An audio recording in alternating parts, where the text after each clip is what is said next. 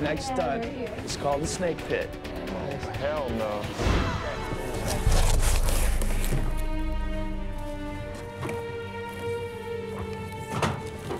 Oh, damn, why do you have my neck like that? Damn. Can't breathe real well.